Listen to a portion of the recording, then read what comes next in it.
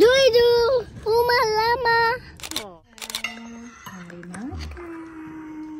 Jadi mulai malam ini kita tinggal di sini, kita tidur di sini. Ya, selamat datang. Ini kita datang untuk tinggal, sudah bukan cuma berkunjung saja.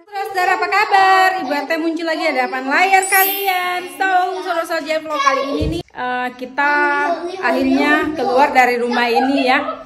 Jadi eh, kita tadi tunggu sampai Bapak RT selesai kerja dan kita tidak langsung ke rumah baru karena Oma apa undang kita untuk makan malam. Jadi Oma masak untuk kita punya makan malam ya. Oke, jadi sudah mau jam setengah enam. Jadi karena orang Belanda punya jam makan malam tuh jam setengah enam, eh jam setengah enam, jam enam ya. Jadi kita langsung saya ke rumahnya Opa sama Oma. Sudah di mobil sekarang saudara-saudara.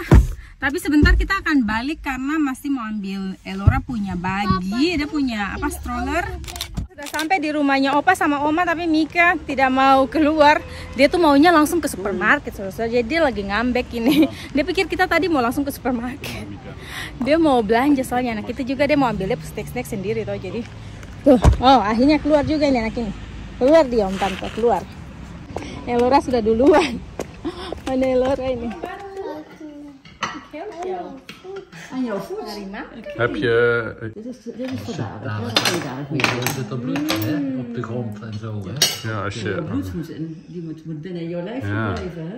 Ja. Smakelijk eten. Smakelijk eten. Selamat makan. Ik kan ook. Ze wil zelf eten. Eet jij hem ook lekker, Mika? Hè? Zeg, wie was er vandaag? Juffrouw, juffrouw Lin of juffrouw Henrike? Juffrouw Juffrouw Rieke. Jullie laatste maaltijd, hè? Hier in, uh, in Maasbracht. De laatste avondmaaltijd. Ja.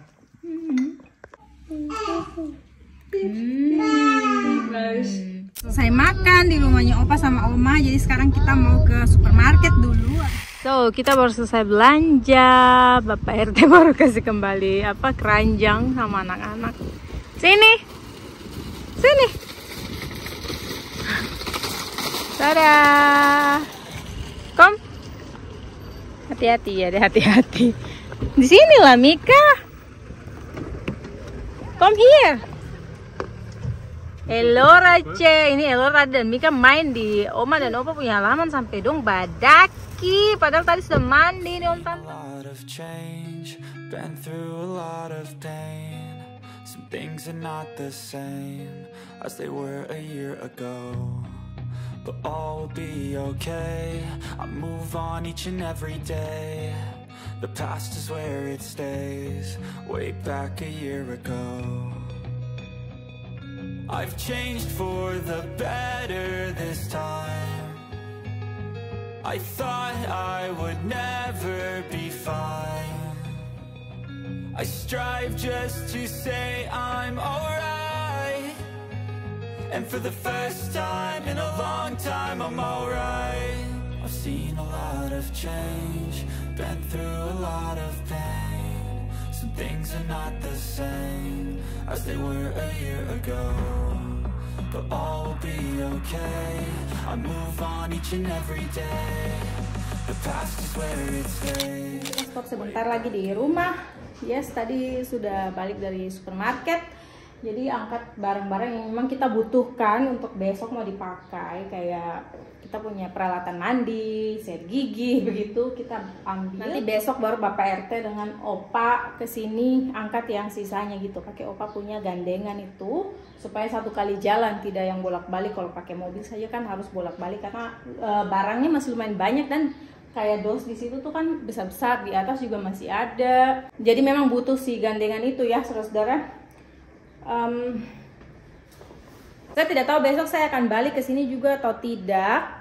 Em, nanti kalau balik pasti saya akan kasih kasih info ke kalian. Jadi saya ada baca di komen sorry ya saudara-saudara saya tidak balas satu-satu ini. Saya belum belum ada kesempatan untuk balas-balasan komen. Jadi saya baca terima kasih banyak ya buat eh, komen-komen dari kalian. Terima kasih banyak semuanya positif Eh, ada juga yang bilang saya apa ibu RT kenapa stroberinya tidak diangkut aja? Kayak kasih pindah di pot terus bawa ke rumah baru.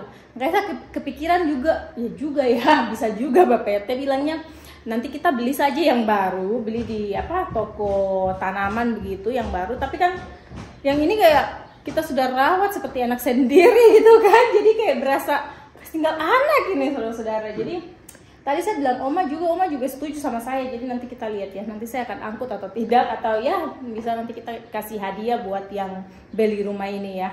Karena dia kan tinggalnya sendiri dia belum berkeluarga sama sekali jadi bisa nanti jadi dia punya anak angkat lah gitu itu strawberry strawberry, strawberry saudara oh ya by the way saya baca juga ada yang komen bilang "Eh, sofanya kan masih bagus kenapa dibuang? Jadi memang bapak teh mau ganti gitu saudara waktu itu kakak Nona juga ada bercanda bilang bawa saja ke rumahnya kak Nona.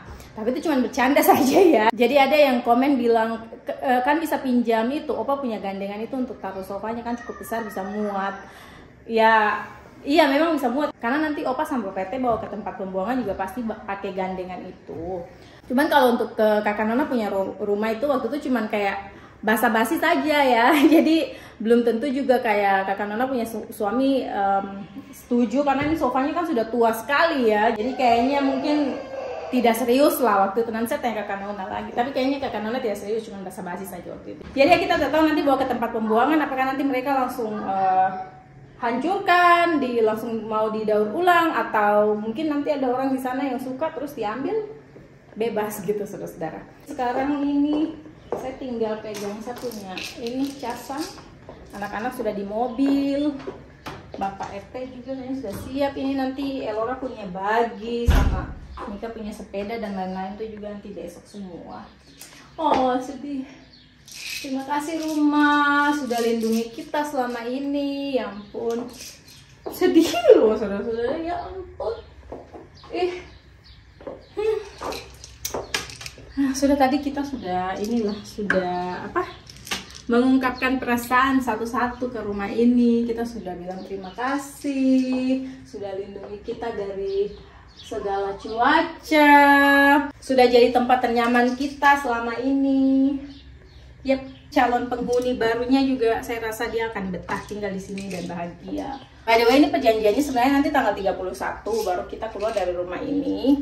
Cuman karena Bapak RT dia berasa ribet aja gitu, tiap kali bolak-balik bolak-balik kita punya barang juga kebanyakan sudah kasih pindah ke sana. Jadi ada yang kayak kita lupa kasih tinggal di sini, harus ke rumah lagi, ke rumah baru lagi terus bolak-balik. Jadi memang Bapak RT dia mau kita lebih awal saja pindah gitu karena kebanyakan hampir semua barang sudah di sana gitu saudara.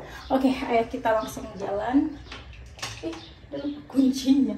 Bapak RT, kunci? Mana kunci suami gantengku? Kita gombal dia dulu. Dudu, rumah lama. Oh, sudah sampai. Selamat datang.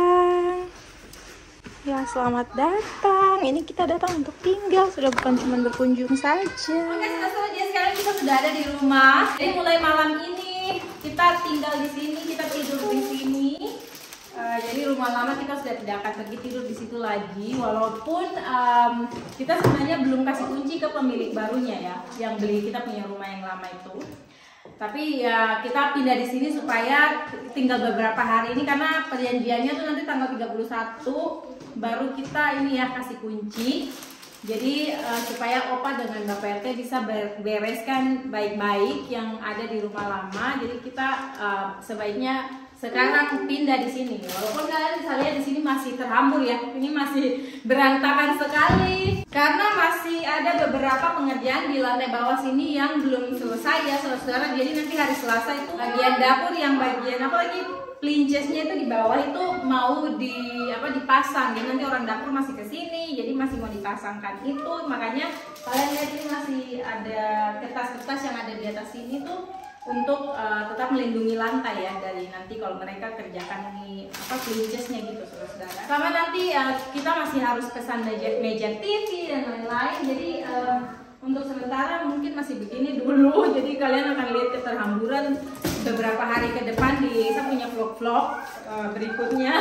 Pokoknya nanti saya update terus ke kalian tentang perubahan yang terjadi di rumah ini gitu saudara siapa tahu buat kalian mungkin yang lagi membangun rumah juga bisa ada kita bisa tukar-tukaran apa ide dan juga mungkin kita bisa saling menginspirasi gitu kan saudara-saudara. Apa yang terjadi dengan Elora ya, jadi kalian tadi kita sudah belanja untuk sarapan sudah beberapa yang sudah dikasih masuk di kulkas juga kayak em, susu dan jus-jus dan uh, buah-buahan kita sudah kasih masuk di kulkas. Jadi uh, roti-rotian di sini terus ada lagi di situ. Ini masih berantakan ya. Jadi sebentar ini anak-anak tidur saja dan Bapak RT mau bereskan sedikit supaya besok kita sarapan tuh tidak kayak tahambut sekali. Halo. Halo.